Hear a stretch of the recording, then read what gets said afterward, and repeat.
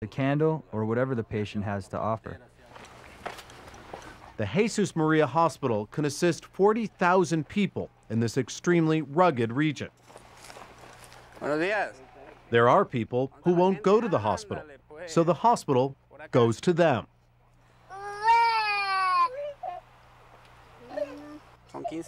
This family is receiving immunizations and vitamins. For the smallest children, it's the very first time they've ever seen a doctor.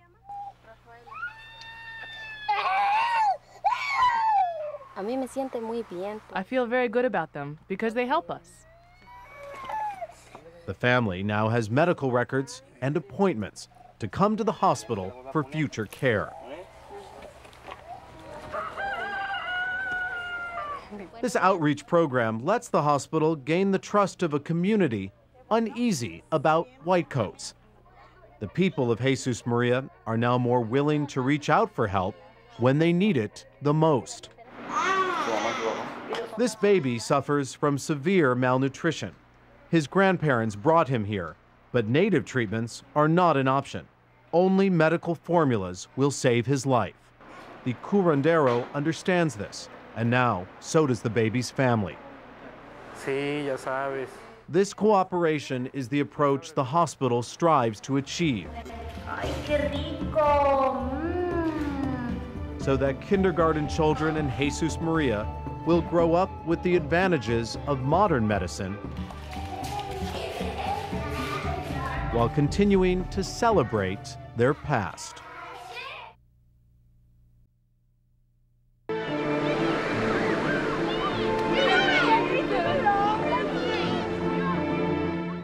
Problem of increasing temperatures may not feel vivid on the beaches of the Caribbean. After all, this region is always quite warm. But strange developments are connecting these islands to a climate change event thousands of miles away. The story begins with a surprising rise of a disease. Physician Michelle Monteil has long felt her home island of Trinidad is a great place to grow up. But lately, she's begun having doubts. Every day, she confronts a medical mystery that hangs like a shadow over the entire region. For growing numbers of children here, the simple act of breathing is becoming a challenge. Confronted by the suffering asthma was causing, Monteil dedicated herself to investigating this growing epidemic. I cannot remember having any asthmatic friends. I cannot remember any children in my schools having inhalers. Nowadays, I would say it's a common problem, and that is the perception among the medical fraternity here in Trinidad.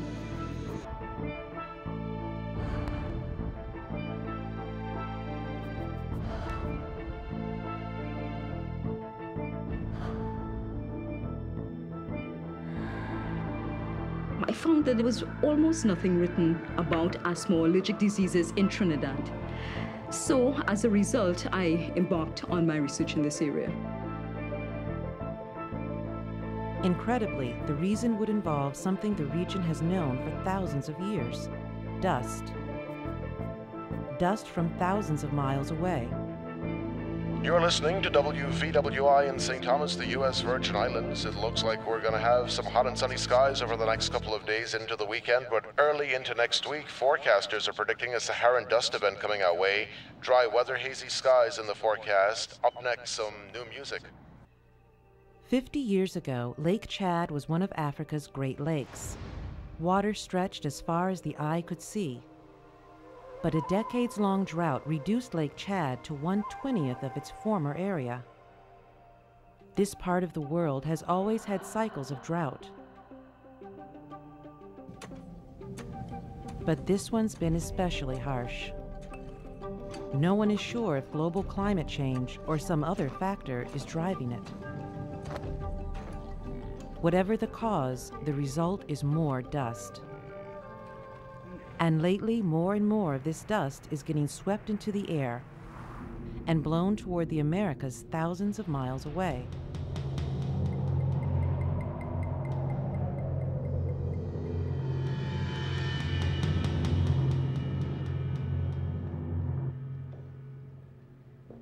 Back in Trinidad, Michelle Monteil and her team believe they have found a pattern between Saharan dust and the rise of childhood asthma.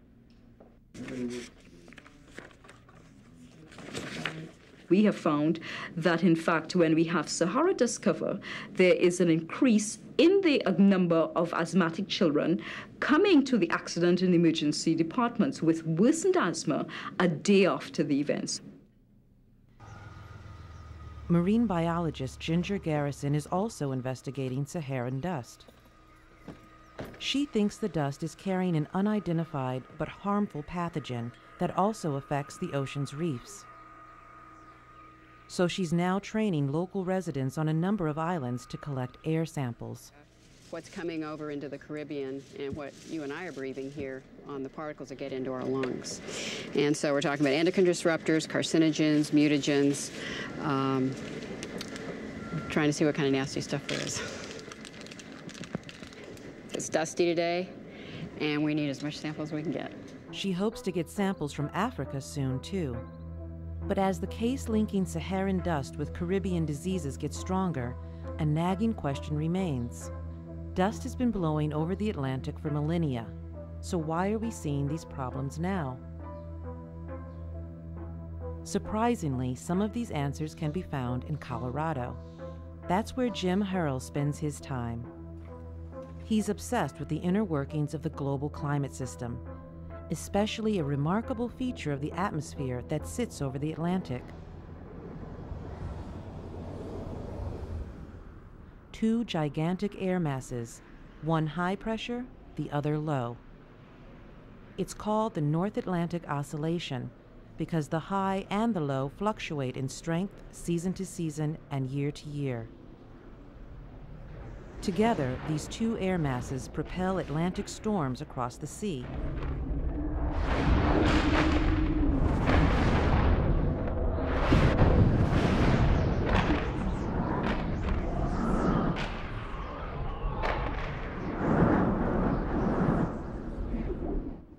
When the system's in high gear, it draws those storms far to the north, changing temperature and precipitation patterns over much of northern Europe and Eurasia.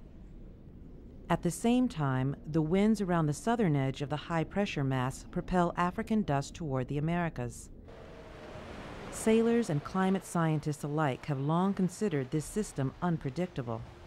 But lately, a pattern has emerged, one that caught the eye of this atmospheric scientist. What we find is that the North Atlantic Oscillation does not behave the way it's been behaving over the last 20 or 30 years.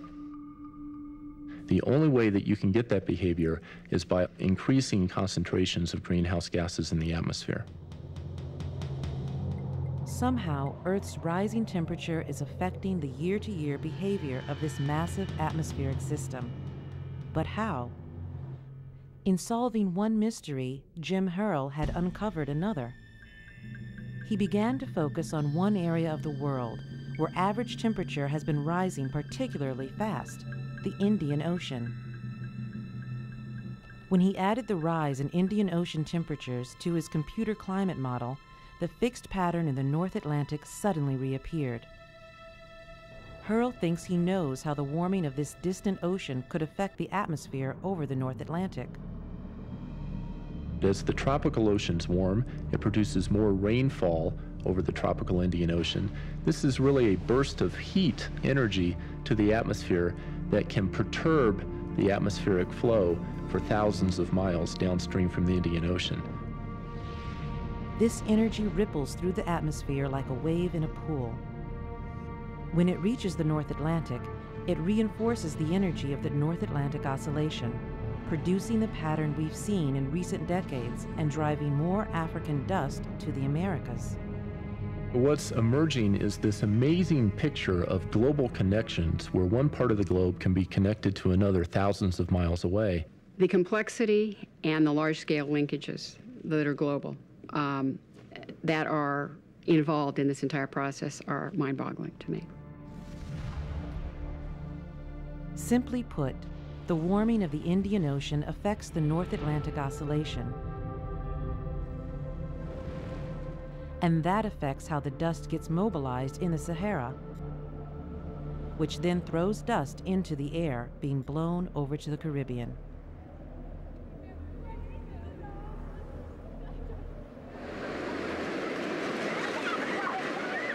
I think that what my foray into this area has really done for me is that it has really brought out to me how we are really just one globe.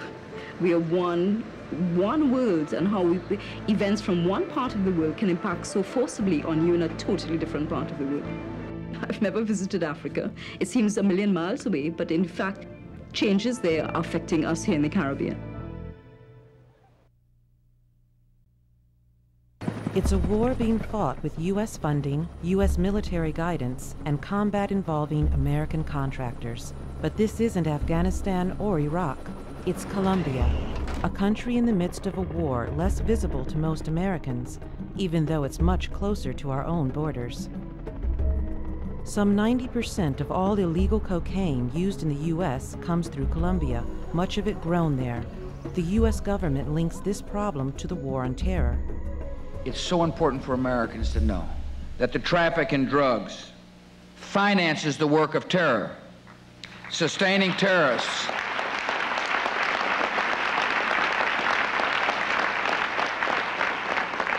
The terrorists use drug profits to fund their cells, to commit acts of murder. The U.S. and Colombian governments are trying to persuade farmers to stop growing coca, but it's a tough sell. Coffee is one alternative cash crop, although not as lucrative as coca. In this southern Colombian town, farmers bring their coffee beans to market. Coffee is a lot of work. We have to collect it, pile it, wash it, and dry it to sell it at a good price. And the world market for coffee is unstable, with the potential for major drops in price.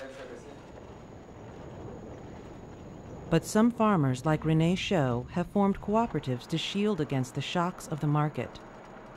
The idea is to encourage growers to quit coca.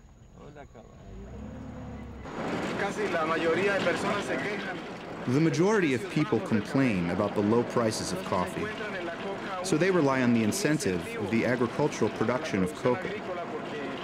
Because logically, the price of cocaine is much higher than the price of coffee. Rene is on his way to visit Evelio Menesa, a farmer who's made the switch from coca to coffee. Coffee growers barely cover their costs. Still, Menesa believes he's doing the right thing. There are many problems with coca, no? There are too many problems with the drug. And that's why I stopped growing coca, after seeing so many family conflicts. Now, I have real peace with my family and my neighbors, but I have scarce resources to make a decent living. This coca farmer explains why he grows the illegal crop. Well, it is harmful, but it doesn't do any damage here. If we didn't grow it, our families wouldn't have anything to eat.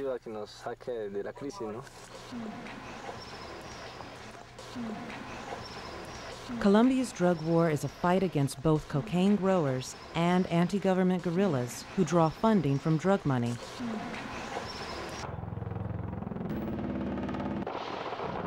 United States involvement in the conflict is massive. In the year 2003 alone, U.S. military aid to Colombia totaled $600 million. These members of the U.S. trained Colombian anti narcotics police are preparing to go on a search and destroy mission to find a cocaine lab hidden deep in the jungle. The unit is combat ready. One of their aircraft was fired on just the day before this mission. Destroying the coca plants with herbicide is a significant part of the U.S. war effort. U.S. law limits the number of troops allowed on Colombian soil, so instead, the U.S. hires contractors like DynCorp, based in Reston, Virginia, to do the spraying. Many of the pilots are ex military from all over the Americas, including the U.S. The spray, which kills any plant it touches, is controversial. To minimize damage to forests and legitimate crops, satellites guide the spraying. Each mission is accompanied by helicopter gunships for fire support. This flight mission encountered no fire, But a few days later, one of the planes was shot down, killing the Costa Rican pilot. Colombia's president, Alvaro Uribe, ties his fight against rebels and drugs to the war on terrorism. This is a, a challenge set by terrorists, by narco traffickers against uh, democratic society, the Colombian democratic society. Despite Uribe's determination and U.S. aid, Colombian growers still produce enough of their crop to generate over 400 metric tons of cocaine a year.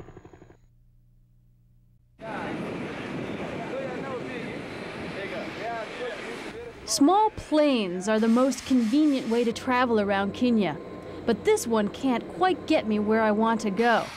So after touchdown on this small and dusty airstrip, I get some help. Okay. A short walk and we hit water. This place looks and feels completely different than the Kenya I've already seen.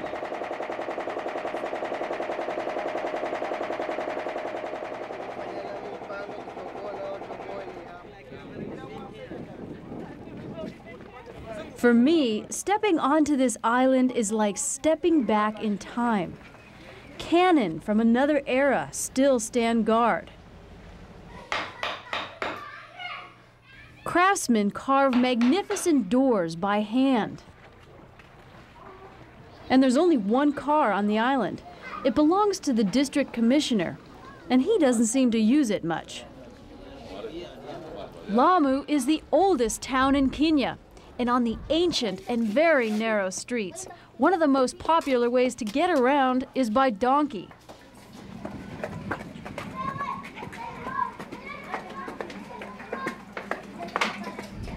Last year, the old town of Lamu was placed on the United Nations list of World Heritage Sites. Many of the buildings date back hundreds of years. While the most obvious influence is Arabic, Lamu and its people absorb whatever they come in contact with. welcome. Sheikh Ahmad Badawi's family has lived here for 10 generations. Lamu is a credit of Swahili civilization. This is where uh, everybody depends on learning about the Swahili culture. It's a culture built on commerce. As far back as the 14th century, Lamu was a vibrant economic center, an Indian Ocean trading post. Ships from China, India, Arabia, and Portugal sailed in and out, carrying everything from mahogany and mangrove, spices, and slaves. Those mer-